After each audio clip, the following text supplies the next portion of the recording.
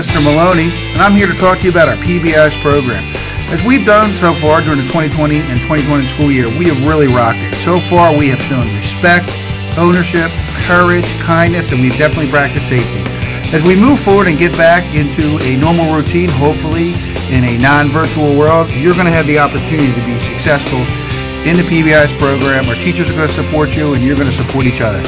Thank you, and have a great day.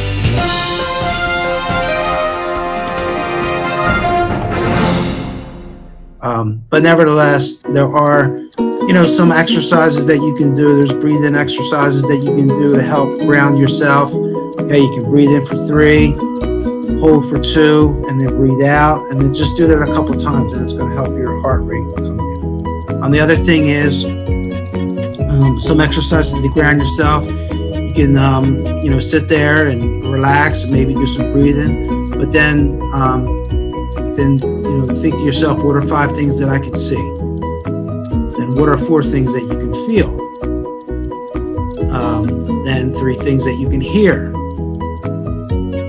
two things that you smell and one thing that you can taste Good morning, everyone. This is Dr. Cole coming with a message about your routine. It is so important for you to get up and establish a routine. I like to say get up in the morning, brush your teeth, wash your face, comb your hair, go out of your room, actually leave your bedroom, go to a place where you can focus and embark upon the education that you're going to get today. Have a great one. See you later. Here's some suggestions where you can rock. Take ownership and keep yourself healthy. Make sure you eat your meals every day and have a glass of water handy and nearby so you'll stay hydrated. Take frequent breaks. It's hard sitting in front of a computer screen. So get up and walk around. Move your shoulders and your neck. Do some jumping jacks. Put some music on and dance. Even getting up a little bit every once in a while will help. And if you don't like sitting while working, try standing up and working that way for a while. Make sure you have a comfortable place to work. Have a comfortable chair and decorate the space with things that make you happy. Limit your screen time before bed and make sure you get enough sleep every day. I myself am struggling on some days, but I wanted to offer a few tips, or at least one particular tip, on how it can be helpful to stay respectful, have ownership, have courage, and kindness. And one of the tips that I do every day and use every day is my calendar. I am here in my office and I'm going to pan down.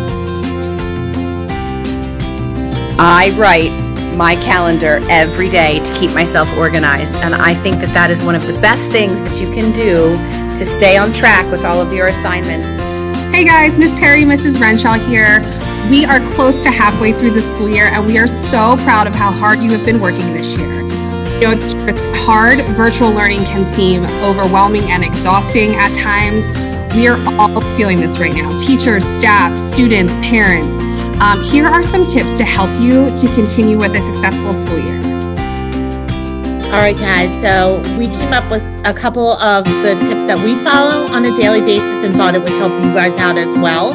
One of the things, and definitely the kids who know me know that I say this all the time, I still am a pencil and pen girl and I write down everything. So what I need to get done in the day, make a checklist, write it down. And nothing feels better than to cross something off your checklist and it'll just make you feel like you're in control of everything. Um, you know what's due and what's coming up. So checklist. Desired result. A short-term goal is a goal that is achieved or desired over a short period of time.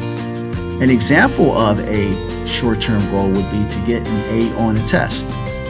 We know that in order to get A's on an exam or a satisfactory grade on an exam, one should study, one should also pay attention in class. And if you do those two things, you should be able to possibly achieve that result. Crazy, I know we're spending a lot of time in front of the computers, but get outside. It's cold and I know sometimes it's hard, but it's important. Our brains depend on oxygen to think critically, um, and they're really super sensitive to decreases in oxygen. So get outside, get some oxygen. Being outside also um, allows your body to create serotonin and endorphins, and that makes us feel better. Um, it helps us learn, it helps us feel better. It's important. Get out, play, have some fun in the snow have a great time. Get some oxygen. Bye, guys. Deuces.